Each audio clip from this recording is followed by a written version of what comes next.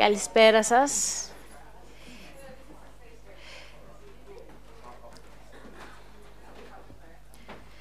Before I start, let me say this was supposed to be our last lecture, but because we will not, we, we still have some time before we break off for Christmas, there will be another lecture on the 18th of December by Professor Ioanna Kakoulli, who is at the University of California in Los Angeles, and she will be speaking at the multidisciplinary study of colors and wall paintings and Fayum portraits and other things. And that will be on the 18th of um, December. Okay? And for those of you who may not have received an invitation, tomorrow we will have an info day for the MedStack program, this uh, program that we are collaborating with the uh, Technical University of Cyprus. But tonight we are here for another reason. So, dear colleagues, dear students, ladies and gentlemen, welcome to this evening's lecture by a good friend who has come from very far away and after a very long absence from the island. It is a pleasure to introduce Tracy Ireland, who I first met 20 some years ago. I shouldn't be saying this, but anyway, that's the, the fact when she and her husband Neil Irwin, like me, worked on the Sydney Cyprus Survey project, which was directed by Bernard Knapp. The four of us then collaborated again for the Troodos Archaeological and Environmental Survey project, so it is wonderful to have them both here with us this evening. Tracy Ireland is an archaeologist and heritage practitioner, currently Associate Professor of Cultural Heritage and head of the School of Creative and Cultural Practice at the University of Canberra in Australia.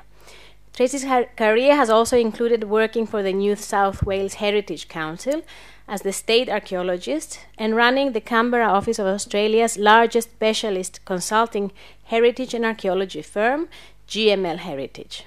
She undertook a PhD at the University of Sydney, which was awarded in 2001, and publishes on historical archaeology, the ethics of cultural heritage and conservation, and the enlarged entanglement of the study of the past with nationalism, colonialism, and the politics of memory and identity.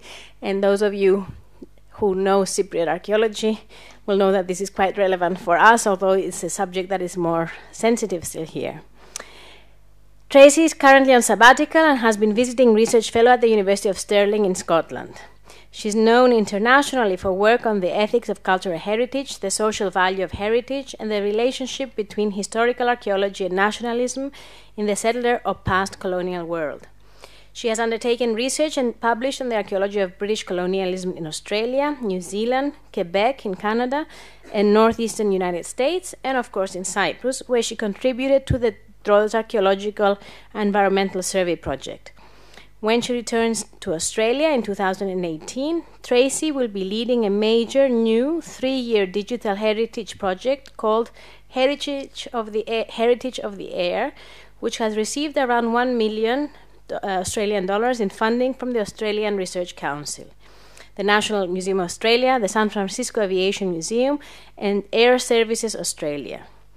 We are particularly happy that she will speak to us about her work on digital cultural heritage, as just almost two weeks ago, the Sylvia Ioannou Foundation endowed a chair in digital humanities within the Faculty of Letters of our university, and thus finally the University of Cyprus will participate in this very important new field. So, Tracy, she will talk to us about digital ruins, exploring digital heritage, methods in the Ottoman and British colonial landscape of TAESP. This is the Troodos Archaeological Environmental Survey Project. Thank you.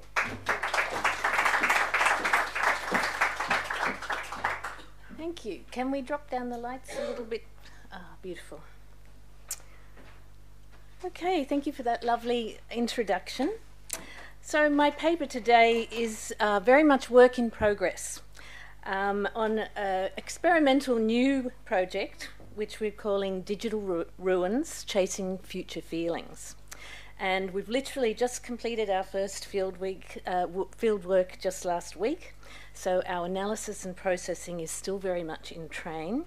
But we rather cheek- cheekily, if not optimistically, um, uh, gave a report on this in Manchester last week, and it's really nice to have an opportunity to talk a little bit more expansively about our ideas this evening. So I've uh, collaborated uh, on this project with one of my PhD students, Tessa Bell, and I'd like to acknowledge her contribution and to thank the University of Canberra for my funding. Um, I've named a few other people up there um, who've given me enormous amounts of help and support, um, so thank you. But most particularly, I need to thank my most important collaborator, Neil Irwin, who um, was also a researcher on the TAESP project, and without whose support and assistance, uh, this work wouldn't have been possible. So this evening, um, I'll structure my talk with an introduction to the ideas and concepts and aims of digital ruins, and then show how we hope that these aims can build upon and interact with our earlier work on the Troodos Archaeological and Environmental Survey project. So TAESP, as you've heard, was a, a, joint project of the University of Glasgow, the University of Cyprus, and Oregon State University, co-directed by Michael Given, Bernard Knapp, Jay Noller, and of course Lena Kassianidou. We did field work from 2000 to 2005 and published a major two-volume work in 2013.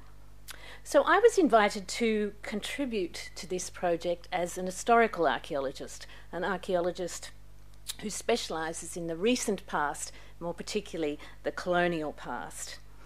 And it was this perspective that uh, Bernard Knapp invited me to um, provide to a landscape project that really took in the entire sweep of human occupation over more than 10,000 years.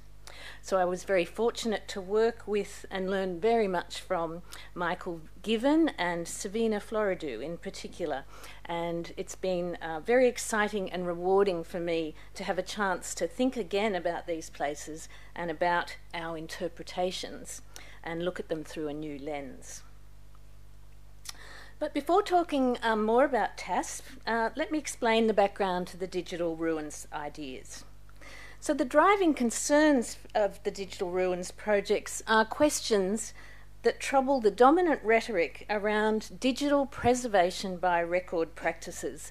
And this is specifically 3D data capture and the generation of 3D uh, visualizations of heritage sites and places. Um, as a way, and, and suggesting that this is a way of preserving these places and things for future generations. So, the dominant discourse that pervades preservation by record is uh, one of unwavering optimism, resolute that something of the substance of the material thing persists in what are often portrayed as notionally objective digital objects. So, we wanted to start with a simple question What of us sticks when the material is generated in digital form? And what of us can be found or felt? When we encounter these digital fragments. These questions led us to propose um, what we call our DIY adventure, that is, our do it yourself um, adventure with very accessible Agisoft Photoscan Pro software. And we designed it particularly to be lightweight, low cost, um, consumer grade um, software because we also wanted to explore ideas of whether this uh, technology could be used um, in community work that we're involved in, and whether in fact we could involve our uh, or use it to teach our undergraduate students. So we felt very endorsed by Elizabeth Grosz, Grosz's mantra here. Um, so, as a complete outsider to the technical aspects of the virtual world, armed with our new cameras, uh, software, and a monopod, we, in the last couple of weeks, have sallied forth out into the landscapes looking for memory and meaning. So, claiming that a detailed, forensically accurate digital data compilation is a form of preservation for complex heritage sites and landscapes, such as is proposed by organisations such as CyArk, and here's a, a shot from their website, is clearly a problematic statement that several commentators have started to critique. So, 3D data records and visualizations obviously have very important potential for heritage management, um, for developing as arguments for particular theories and interpretations about the past, and they may provide resources for all kinds of future research as well as for a wide range of creat- creative practices, speculations, and explorations. However, critics are intensely questioning the evidence for the accessibility and long term stability and usefulness of these 3D da- digital records, their capacity for reuse and recycling, and exactly how they will make good on their promise of making heritage more widely available and contribute to uh, its democratisation, which is a term that you see used a lot in heritage literature, and it's about challenging expert views of heritage, perhaps with more grassroots um, ideas about what heritage is. So others have po- others have also pointed to the deployment of digital technologies as a form of cultural diplomacy that perhaps rehearses forms of colonialism, introducing new forms of what some have called digital colonialism, and reducing the world's cultural heritage to a series of material icons that can be digitally preserved by a technologically and commercially superior West. A British archaeologist, Sarah May, recently called this, in a, in a uh, quip, um, the quest to save the world by scanning. And many have commented on the possible negative implications of naive forms of digital utopianism. Uh, William Kilbride, who's the director of the Digital Preservation Coalition in the UK, has recently suggested that 3D data is already facing um, what he calls an endemic crisis of obsolescence, resource discovery, and corporate abandonment, suggesting that the rush to capture scan data and to make digital objects has not been matched by a concern for the sustainability of these records um, and you know, the preservation issue that they put forward. He also suggests that there's a problematic disconnect or lack of, of communication between the 3D data capture and visualization community on the one hand and the broader digital preservation community. So, as is clear to most professional audiences, digitization or digital data capture is not digital preservation. In fact, it creates a digital preservation problem. However, the term digital preservation is so widely and extensively used in the popular media, particularly around efforts to digitally record and or reconstruct archaeological sites and objects that have been destroyed in Syria, Iraq, Afghanistan and in other sites of violent conflict. The organisation CyArk that I've uh, just mentioned very clearly terms its mission as one of digital preservation and even refers to its staff and volunteers as digital preservationists. So, this loose use of terminology is obviously frustrating for those who work within established digital preservation workflows, such as IT professionals, librarians, and archivists, supported by a range of international doctrine, charters, and guidelines. So these critics all question the objectives and political economy of this 3D data capture rush and the lack of transparency about commercial interests through the promotion of particular for profit products or expert businesses, and the way this promotion talks up threat and loss through disaster, climate change, human conflict, and destructiveness. So while I share in the excitement that experimentation with new technologies engenders and fully endorse research that's playful and experimental, this is quite a different prospect to leading poorly resource, resourced sectors such as heritage management agencies into investing in digital uh, records that may not in fact be sustainable. So, and what might these digital records mean to communities who love particular places or have family connections to them? This is something that uh, my colleagues Stuart Jeffrey and Sian Jones have recently explored in their Accord process in Scotland, and I was lucky enough to have the first part of my sabbatical working with them. And they've been looking at making digital records uh, in a co design project with communities and studying how authenticity is negotiated and generated um, by communities uh, who get involved in this process. So, in this vein, our interest in the problems of uh, digital ruins is not so much in what the ca- camera or the scanner records, but in what and how it generates through an embodied, on site encounter with materiality. Therefore, our project focuses on the generation of 3D visualizations as both method and site of ethnographic encounter, rather than as the outcome or the end game um, of archaeological or heritage studies research. So, we're curious about how these digital things, should they need to fulfill their role as future relics, how will they perform as heritage objects that evoke and sustain illusory belief? Regardless of whether these records capture some aspect of space or form, how will they persist as heritage objects? And perhaps it's worth considering how they will evoke their own time, the time of their making, Will the current archives of Sketchfab, and that's the name of the online repository that's been built to um, um, archive these, uh, these records, how will, how will these records look in the future? Will they look as quaint, weird, kitsch, and faintly unethical in 50 years' time as a masterpiece of Victorian taxidermy does today?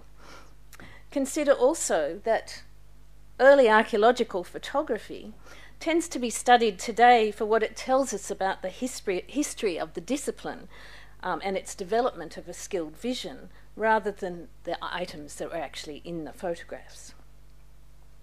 So we believe this is important to bear in mind amidst a rhetoric that sometimes errs on the side of digital records and visualizations as an end in themselves rather than another means in the history of representation.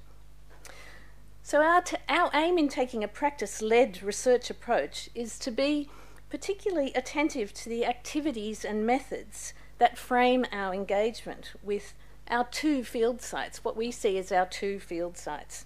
One, of course, is in the landscape of the Troodos Mountains, which I'll, I'll move to in a moment, and the other field site is in the digital field of Agisoft Photoscan, suggesting that archaeology and heritage studies more broadly have a tendency to black box the links between the cultural concepts and taken for granted assumptions about how certain of our practices record, capture, or interpret values and memories. So the term black boxing was introduced by Bruno Latour, the historian of science and technology, to describe, and I'll quote him, the way scientific and technical work is made invisible by its own success. When a machine runs efficiently, when a matter of fact is settled, one need focus only on its inputs and outputs and not on its internal complexity. Thus, paradoxically, the more science and technology succeed, the more opaque and obscure they become. So, this idea is part of Bruno Latour's work on making the social and cultural construction of technology visible to highlight vested interests and, and powerful actors and regimes. It also highlights how various technologies uh, become accepted, even though we may not understand their detailed workings, and not only accepted but deeply trusted in broader society. So, this body of theory is clearly very relevant, we think, to look at how new technologies impact on disciplines like archaeology and heritage studies. In fact, we suggest that much of the work around digital cultural heritage and 3D visualisation tends to be what Latour calls invisible work. When a 3D visualisation is created that is convincing and compelling, the human behind the camera or the scanner the choices made by the data processors tend to disappear. And the public, at least, if not expert audiences, tend to consume these outcomes as objective versions of reality rather than as interpretations produced within a complex set of epistemological, social, and economic conditions.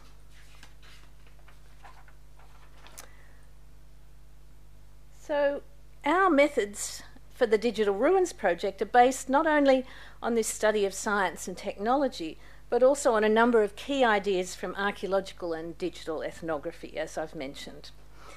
Uh, so, Yannis Hamilakis, uh, an archaeologist at uh, Brown University, um, his concept of archaeological ethnography is what he describes as an attempt to engage seriously with photography, not as a documentary process, but as another cultural field that has important ethnographic um, sensorial and uh, lost my place and ontological implications.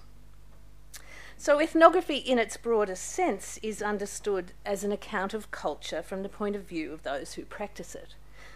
Both Michael Shanks and anthropologist Sarah Pink point to the importance of the concept of the assemblage, the meshwork, networks, or webs, which signify the relationships and associations between people, places, and things as the site for ethnographic inquiry, as well as, of course, the politics of inclusion and exclusion which constitute these networks.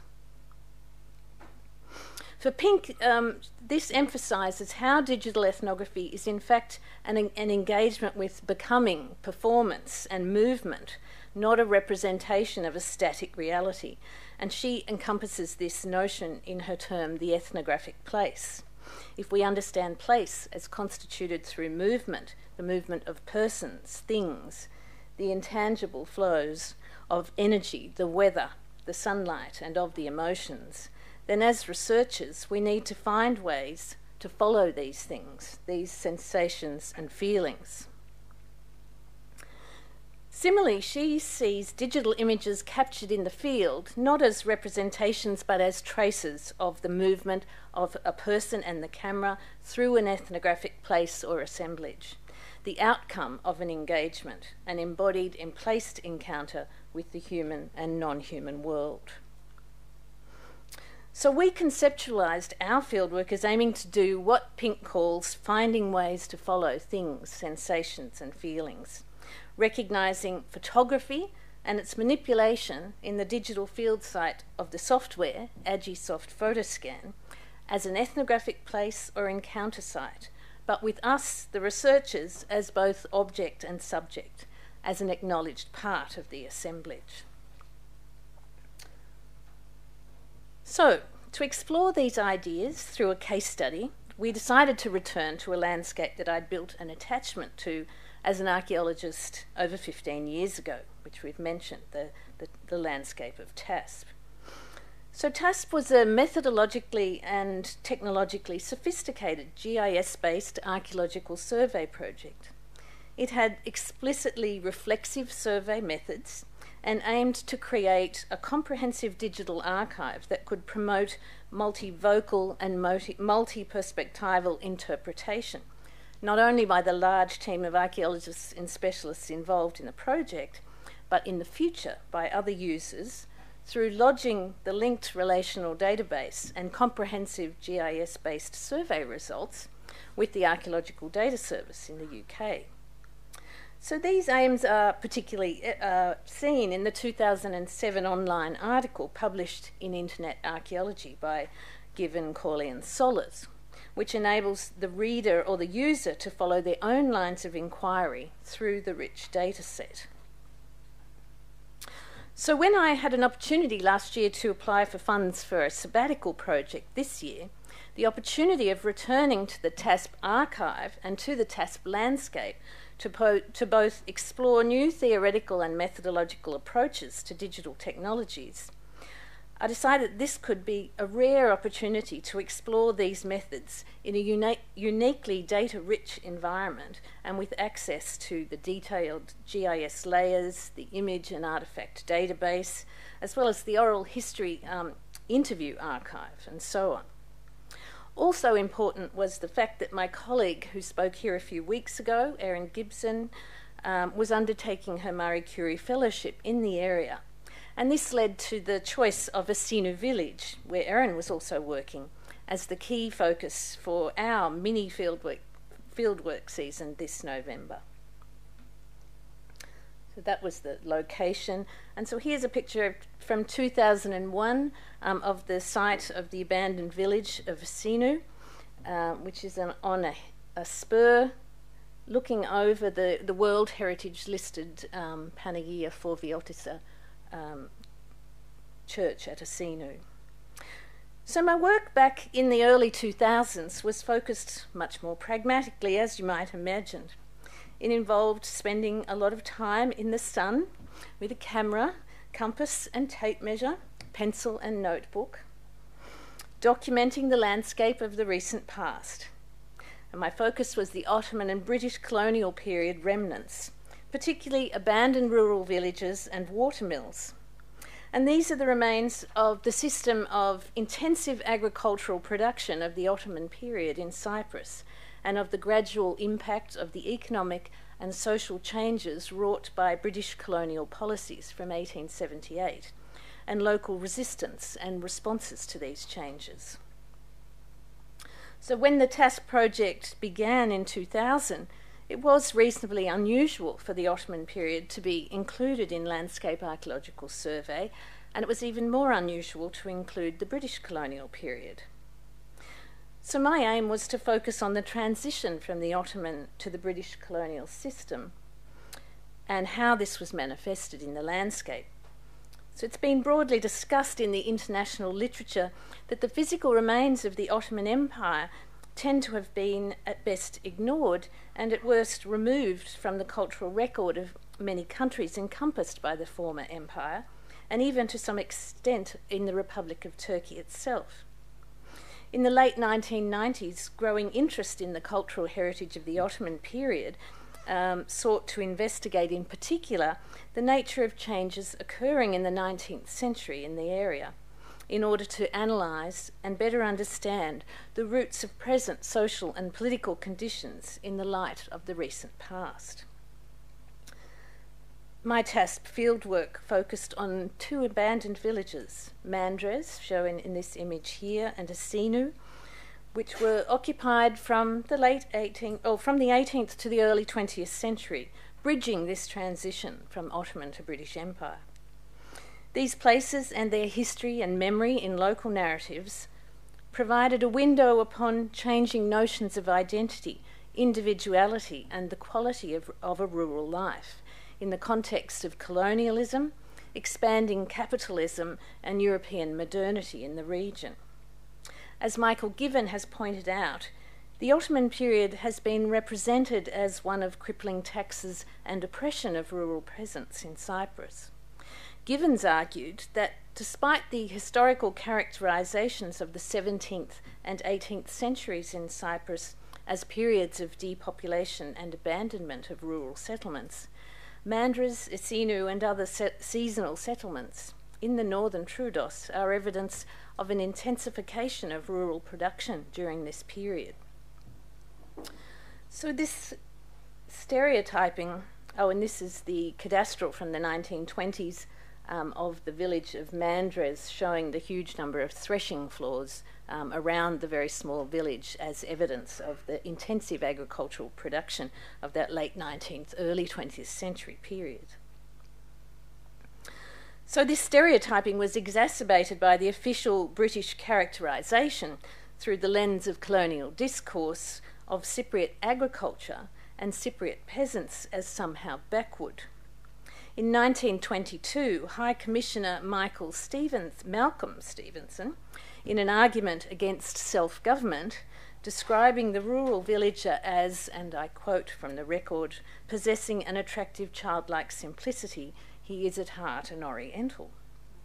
This, of course, was language that I was very familiar with from Australia and other locations in the Empire the British imperial regime's failure to see cultural, and in this case agricultural, sophistication in any other terms than those of the Industrial Revolution and its narratives of development and progress, has led to characterisations of Cypriots in the Ottoman and British colonial periods as oppressed and downtrodden.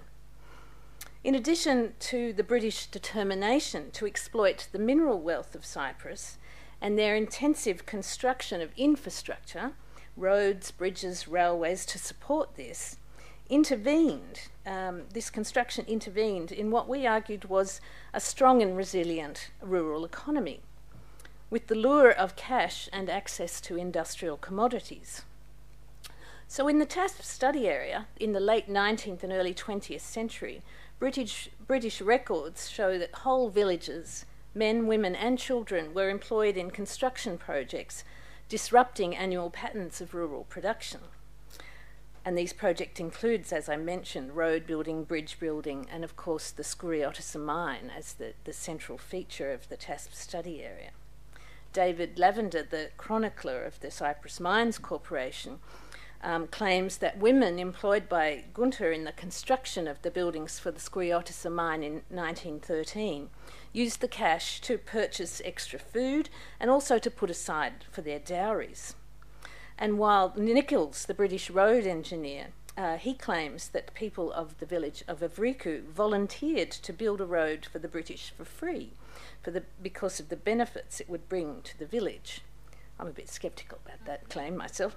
Um, so these interve- interventions appear to have contributed to changes in the perception of the quality of rural lifestyles, a memory not of increased access to commodities and cash, but of hardship, poverty, and the abandonment of traditional ways.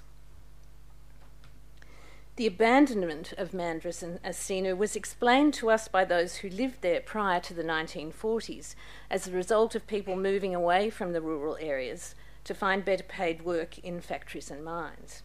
And the final period of occupation, just before World War II, was described as a period of poverty, hunger, and hardship, but often also a greater sense of community and cohesion, which was often mentioned by the elderly folk that we interviewed.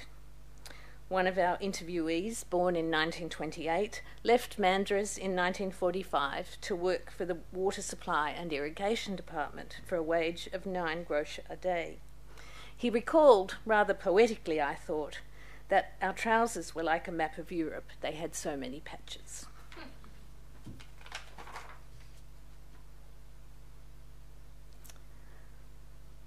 So, to study um, to study the landscape is to study the experience of what some people call multi temporality, how past and present are entwined in both material and social terms in place and space. And it's this renewed interest in archaeology, in materiality, in what some people call material vibrancy and agency, that has suggested how we might re engage with the TAESP archive and the TAESP landscape, and how digital method, methods might contribute to understanding more about how old things retain the power to shape and influence social life, how objects accumulate long biographies, and how memory is formed in a complex dialectical feedback loop with the pushback of the material landscape. So, spending long days amongst the ruins of colonialism, my aim was to understand this Ottoman to modern, modern built fabric, as we called it, and Asinou village.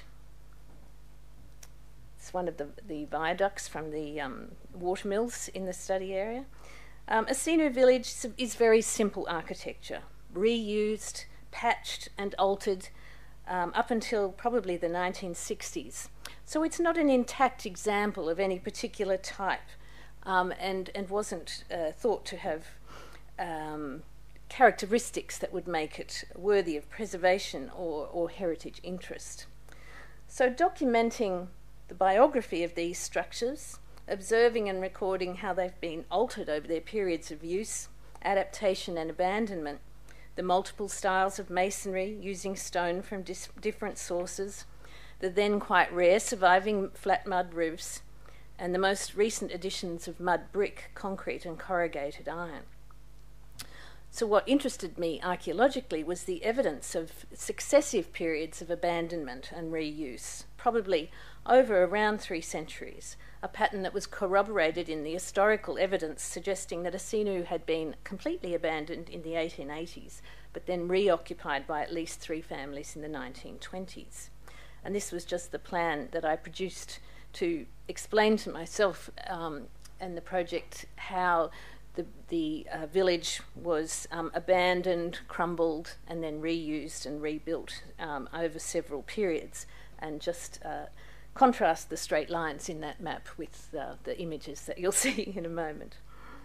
So, through interviews with local people, I learnt that the last couple to live in Asinou here were Solomus and his wife. Their daughter told me that her mother had died in this room. And like so many places in Cyprus, the melancholy aura of abandonment was palpable. despite the harsh, unforgiving Cypriot sunlight, which picked out the evidence of the daily lives literally mortared into the walls of the village.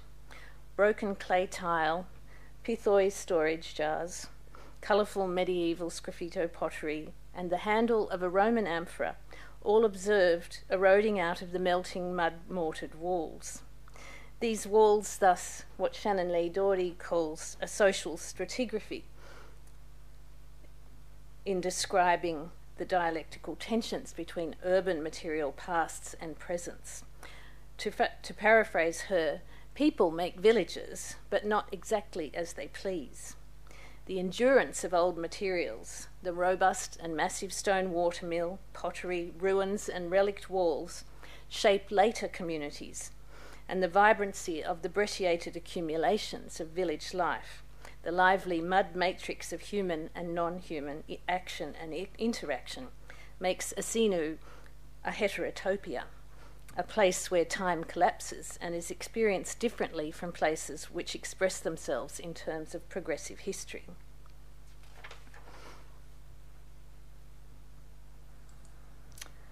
So, my reflections on our ethnographic encounter with the Agisoft photoscan Photoscan Pro software. So, our first conclusion was that this was an astounding, astoundingly intuitive program and great fun. And this might speak to our narrow experience with this type of software, but it did not, for instance, seem as threatening as the dark abyss of AutoCAD. Instead, it loomed as a beckoning expanse of possibility. Go out, be in the world, see things, and return with the trace of your movement, the magic software will pull it all together for you. So, this romantic uh, notion, for this romantic notion to work in earnest, the software in fact requires very specific movements in preferable conditions. Orbit around an object in a non occluded landscape, in a soft, consistent light that casts no ephemeral shadows, that could obscure its understanding of the material forms it is tasked with translating into new data real versions on a different plane of reality.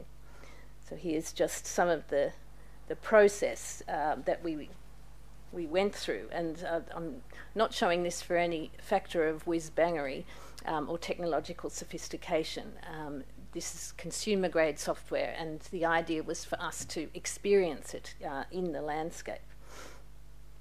So here's the, the model that's being created, and then the, the, the, the texture, the surface texture is applied to the, to the 3D model. And this is the watermill in Nikitari, um, which the, um, the people of Nikitari, some of whom had moved um, down from the abandoned Asinou villages, or their families had um, identified uh, this watermill um, of a place um, of value to them in Erin Gibson's recent fieldwork.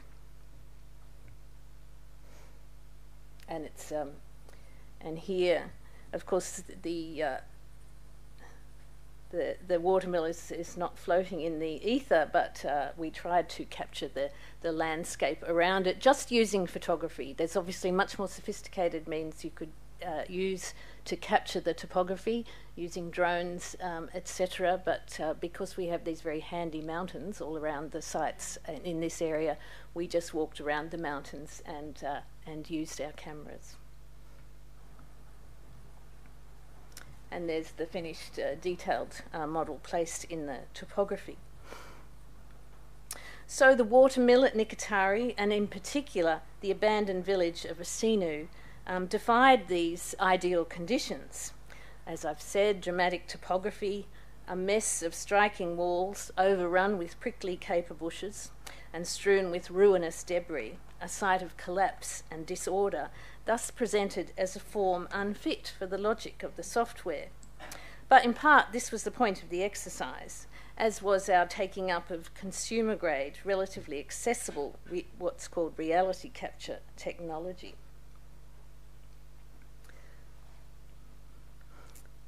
So just going through some of our attempts to render the, the chaos of the abandoned village.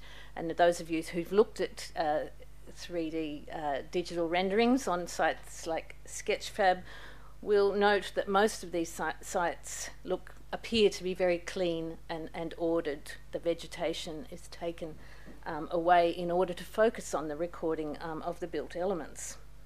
So, as the experiment unfolded, we adjusted our postures in the field to the behaviour of the software, toggling with the limitations of our photo sets that they'd imposed on the point clouds um, and tangential fourth dimensions which popped up um, hours after we had trod the perimeter of our object. We traipsed over the mountains, conveniently overlooking our sites and stumbling over the ruins and through the landscape and traversing the span of our Agisoft parallel field site, it became apparent that the pursuit of digital objects using this software is marked by judgments, choices, decisions. The process does not hold to principles of objectivity. The models are inflected with the convictions, persuasions, and persistence of the human at the helm. So here's the initial rendering um, of the, the crumbling village of Asinou. So the makerly process of the rendering has a definite auteur, a creative director, whose vision technical mastery or lack of it in our case, um, cultural background, understanding of visual codes of aura and authenticity, and their feelings about these, these landscapes and the old masonry definitely shape the outcome. We found that Agisoft may produce different outcomes from the same dataset at different times, aligning photographs differently in separate trials, and that it does not care for per- peripheral details, for pixels on the edge. It prefers discrete boundaries. As such, our newly moulded objects do not adhere to the aesthetics of emptiness that seem to dominate the, these rapidly growing digital archives. So, what are the overt intentions of the pervasive neatness of the digital world? What is gained from the production of clean cut representations devoid of any clues of chaos, the sense of sprawl, the evocation of heterotopia replaced instead by an atmosphere of ghostly absence. So, what's emerging for us is that Agisoft Photoscan is digitally constituting what anthropologists might call a thick assemblage, an ethnographic place which has become the site for a particular kind of encounter with materiality, history, and politics in all its messiness and ambiguity. We are using the software to trace our embodied experience, tracking the movement of the sun and changes in the weather. Just as we awkwardly clambered over the ruins, it also the software also stumbles over the caper bushes and wild olives that occlude the ruins from the software's focus on formal architectural qualities. Rather than presenting new answers to old questions, the digital ethnographic context suggests new kinds of questions and opportunities for, for reflexive engagement with disciplinary frames and methods, and, and provides a critique of the notion of the objective permanent digital record.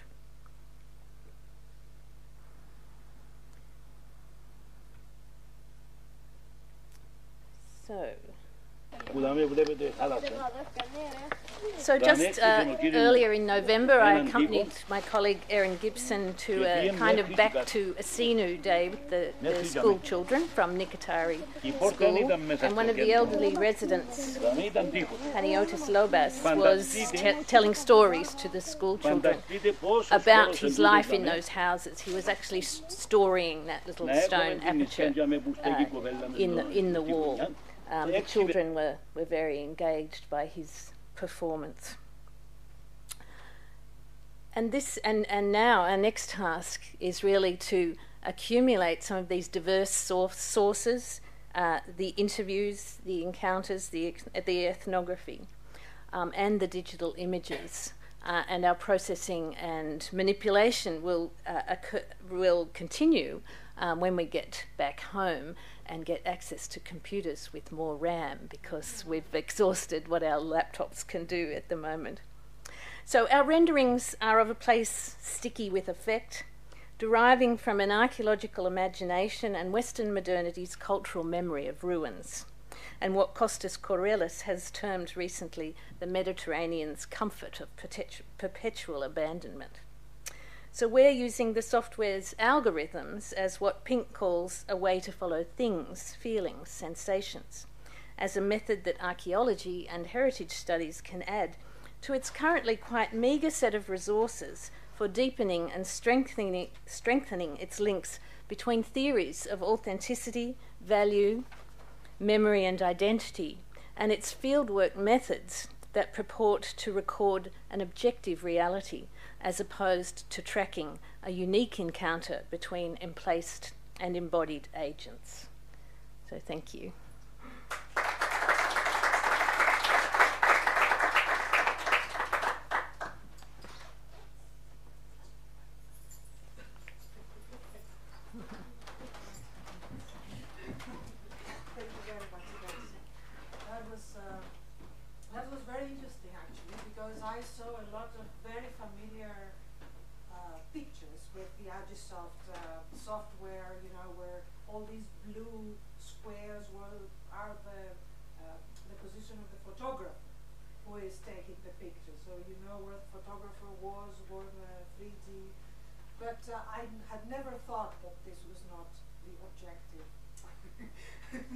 Well,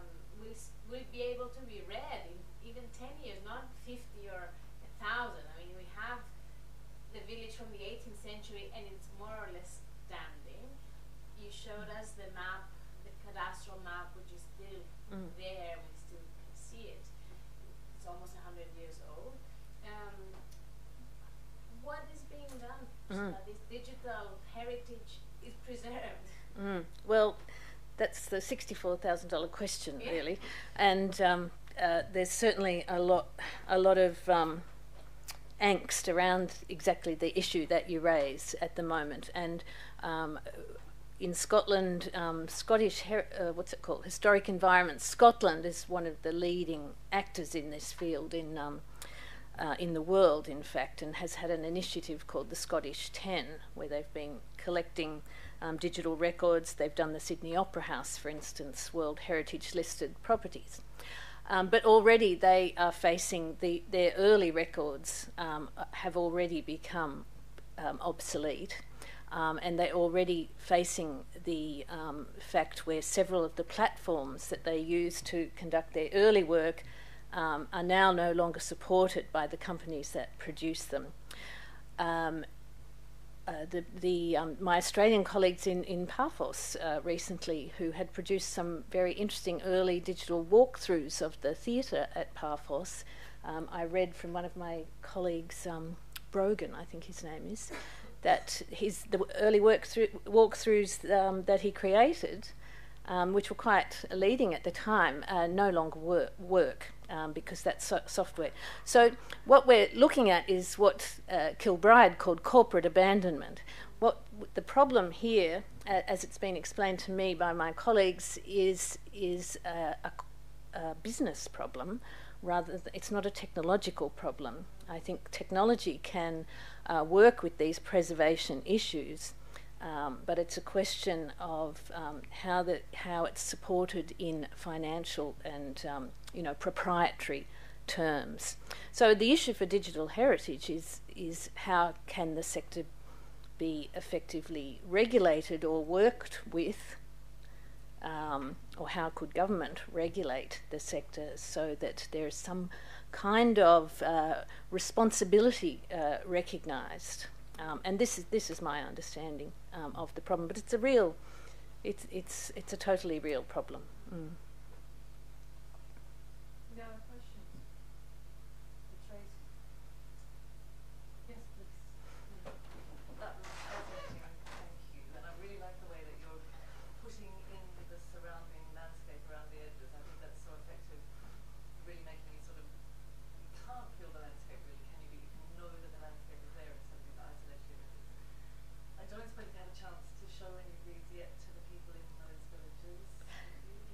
No, no, I haven't. Um, but I've I've met with the uh, the, the, school teachers um, are my main contact, and I've promised that um, we will send them to the to the schools, um, and so that Erin will be able to to use them in, in her next stage um, of field work, and we're very happy to do that. We can turn the the 3D um, images into PDFs so that you don't need any special technology to move around the 3D model, and so the children should be able to play with them.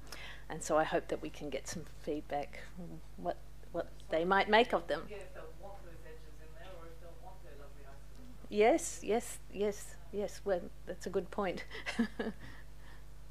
or whether they might have liked them tidied up, as we didn't want to do.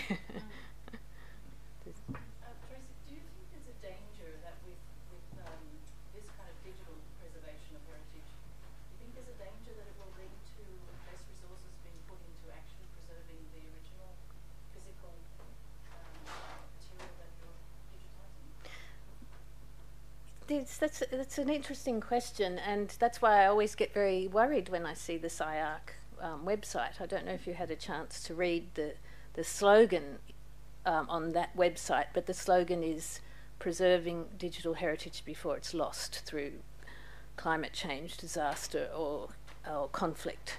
Um, and and I think it does set up um, it does set up a dilemma um, you know, in World Heritage terms, uh, you know, I think it's it's obvious that uh, that um, various forces will work towards ongoing preservation. But in Australia, for the heritage of the recent past, I have already seen many um, examples of where a digital preservation has been done because a site's been decided to let go. Um, and and I and I think you know, there's a lot more questions. I mean, I'm not, I'm not a, an advocate for preserving absolutely everything. I think it's, it's you know, it's a social issue that uh, needs to be balanced. But um, I, I'm, I am an advocate for thinking more deeply about what we mean when we say we're digitally preserving something, um, and I think the the terminology, the slipperiness in the terminology, and the fact that the media link on to this term of digital preservation um, is not useful to to our um, prof- profession, and it, it, would be nice to to clarify. So, with our digital ruins project, we we will not claim that this is a preservation um, or a permanent uh, objective record of the site. We'll try to be um, as upfront and explicit as we can be um, about the steps that we've taken to produce it and what we think it represents and our limitations in um, in preparing it.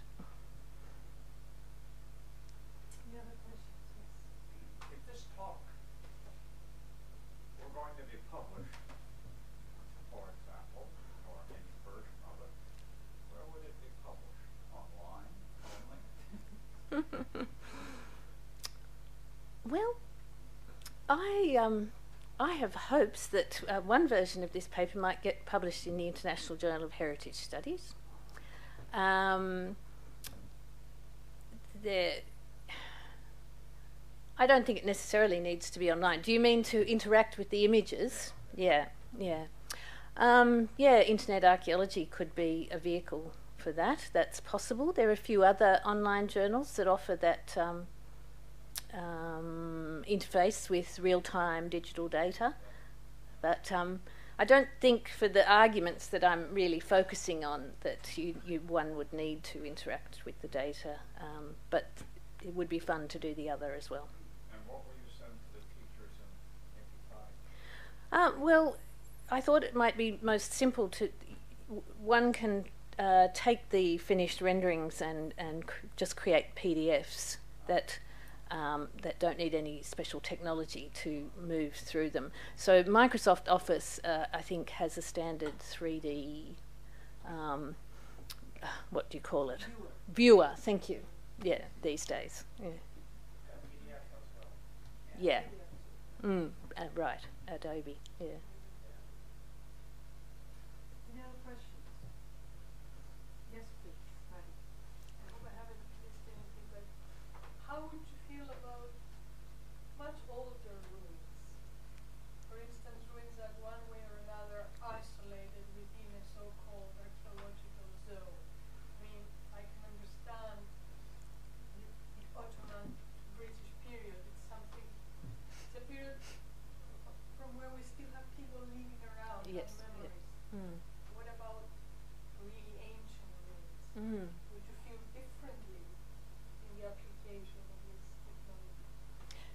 I'm, I'm sure I would. I mean, in the in the absence of the ethnographic context that I'm that I'm working in, um, but I suppose my uh, focus on these questions. One of the things I'm really interested in is what persists over a long period of time uh, in the landscape, so that several generations of uh, of you know people might interact with it in different ways.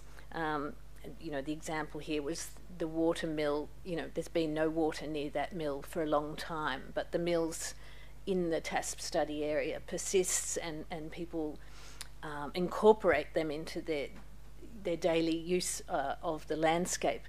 So I would really like to explore, you know, if I had the option with older ruins to try and get more of a sense rather than this periodization that we seem to be quite so focused on in archaeology. This is, you know, uh, Bronze Age or you know early Archaic, Hellenistic. It would be nicer to think about what, how did these things change and persist, and how did how would they what were their social lives um, over the long term, and how could we use these technologies to perhaps um, explain that and and um, uh, get a better handle on that that question. That's just something that interests me. Mm.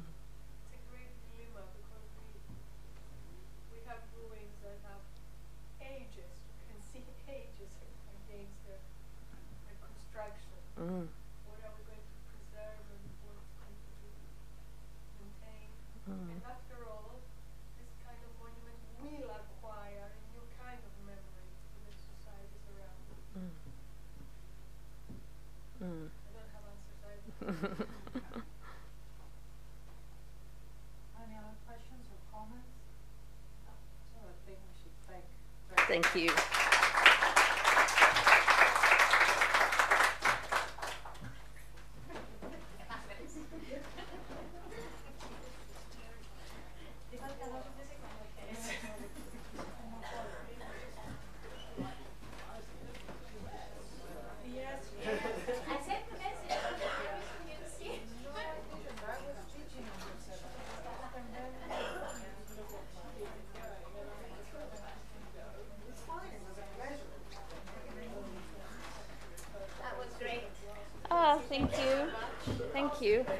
Yes.